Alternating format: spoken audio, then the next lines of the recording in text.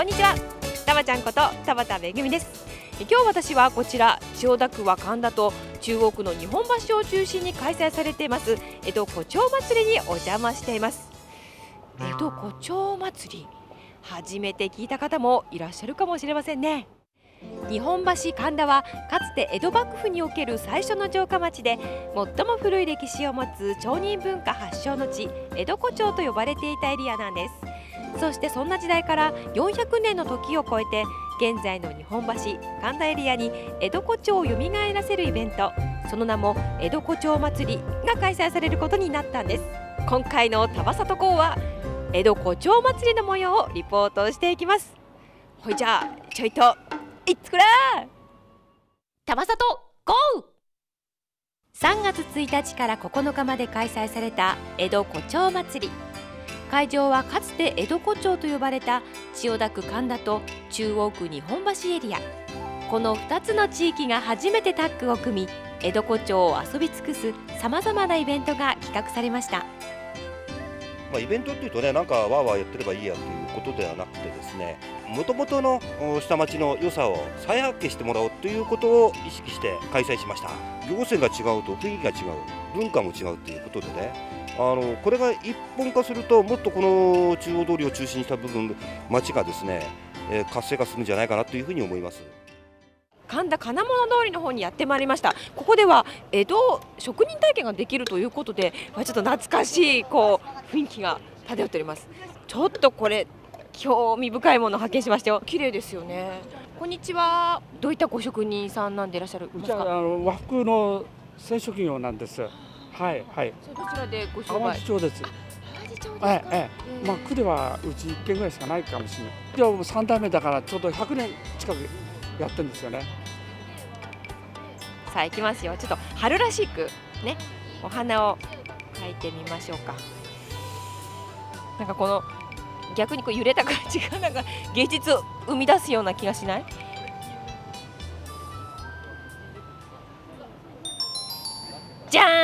できました。こちら私の初めての染め物ですよ、ね、日付を書いて「タバちゃん」って書いたつもりなんですけどちょっとこれほらタバちゃんの矢の字がちょっとね失敗しちゃったんで。いややっぱりねその普段絵を描くのと違って着物ですから生地が。難しいですね。でも楽しいですね。こういう職人体験っていうのはね。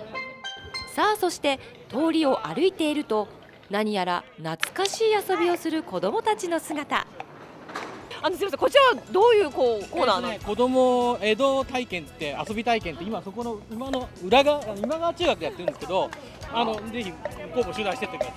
ということで旧今川中学校にやってきました。いやいやいやいやいや駒系とかベーコマとかねよくねあのイベントであるんですけどできないできないんですよ。だから羽子板羽子板行きましょうよ。羽根つき羽根つき。さあ邪魔しますこんにちは一緒にやらないねえちょちょちょちょちょちょちょ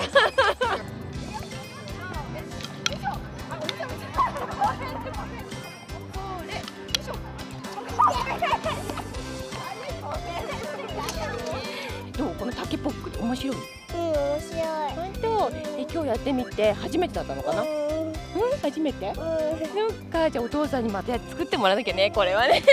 親子で楽しめるっていいですよね。そうなんですよね、なかなかまあねこういう場所も減ってきちゃってるからね、なんとかたまたまいい機会なんで続けていけたらなと思うんですけどね。さあ続いて私はですね神田西口商店街の方にやってまいりました。実は先ほど実行委員長の秋山さんがこのようなですね IC はしご歩きカードというものをご紹介してくださいました。これはですね実際この江戸古町祭りの期間中イベントに参加しているこの神田エリア地区の30店舗のお店の中で3軒このカードを使ってはしご歩きができるというものなんですけれども。うーん。あら？ちょっとなんか珍しい自転車がね元気バリバリ働いてます的な感じの商業自転車という感じですけど神田マリア。お蕎麦屋さんですよ。しかもしかも見てくださいこれ。はしご歩き特別メニューってありますんであもう決まり。お邪魔しましょう。ね。こんにちは。関東風の濃いめのつゆと自家製打ちたてそばが評判の神田丸屋さんでイベント特別メニューをいただきます。こちらお蕎麦も、はい、つくんですね。辛めのおつゆなので、はいあまりつけ3分の1ぐらいつけて、はい音を立てていいんですよ。いただきます。はい。ちょちょちょちょっとこうつけていきますよ。うん。これは美味しいですね。ご主人美味しいですよ。江戸時代からこのお蕎麦屋さんにはこうなんだろうちゃんとこう日本酒と一緒になんかつまみを食べるみたいなのが粋な食べ方なんですか？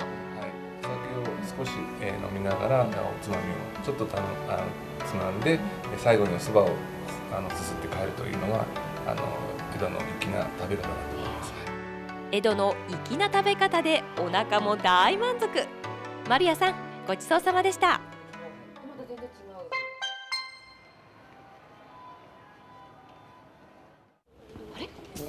あすみません。あのすみません。何かあの手に持っているこれ地地図か何かですか？これ何ですかこれ何ですか？これはあの宝探しゲームっていう宝箱がうまあのあってこういう暗号とかを解いて探すなんかゲームみたいなものなんですけどえーじゃあみんなどのエリアをこう回ってるんですか？今日は。で神田エリアこっちで神田エリア回ってます江戸時代って時代知ってる？はい知ってますえっ、と確かに徳川家康が江戸幕府を開いて、あの江戸の町が発展したって時代。正解すごいな。なんか嬉しくなるんです。だから今後の日本が明るくなるような感じのね。お父さんなんか再発見とかなんかできました？大人も結局あの術中にはまってしまったんですけどあ こんなところにたこ焼き屋がとかこんなものがあったんだねみたいな。普通もうこんなあ歩かないんでこういうことがあると子供が喜ぶし歩くって感じですね。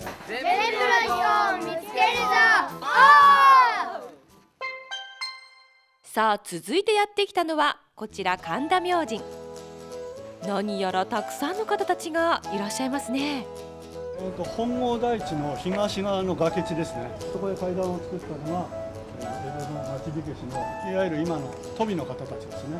商業の中心地でありものづくりの町として職人が多く住んだ神田イベントでは神田の歴史を散策しながら紐解く神田散歩が行われました江戸時代とかの地図とかが主人が好きだったので散歩はしてたんですけどこういう機会でもないとあんまり普段意識して歩いてなかったので勉強になりました。さあ日も暮れてきましていよいよ江戸胡蝶祭りのファイナルイベントが開催されようとしています。えこちら旧今川中学校の校舎をスクリーンにしまして江戸時代からの街の変遷を映し出すプロジェクションマッピングが行われようとしているわけなんです。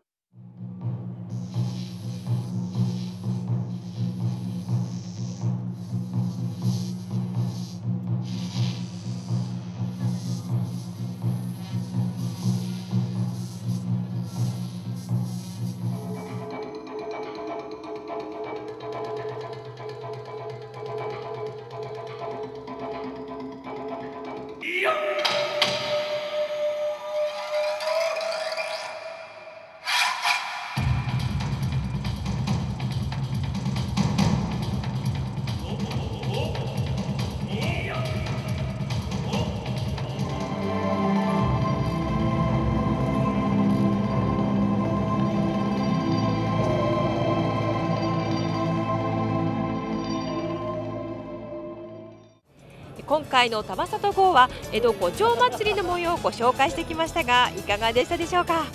いや今日はですね江戸の文化をたっぷりと楽しませていただきました。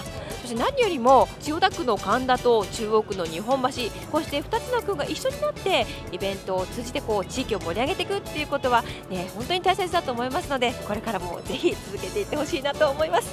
それでは今回の玉里号はこの辺でお別れしたいと思います。また次回お会いしましょう。さよなら。